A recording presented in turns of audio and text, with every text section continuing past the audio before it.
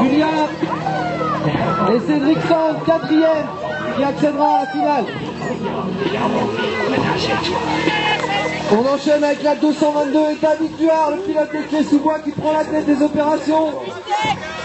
Devant Alexandre Aparitino, le pilote de Sucy Andry à la deuxième place. Thomas Barbier pour Massy, troisième position. Quatrième place pour Jean-Camille Thomas, le pilote de Sucy Andry. Duard tranquillement en tête de cette demi-finale. Devant Alexandre Aparitino, Thomas Barbier et Jean-Camille Thomas pour Sucy Andry.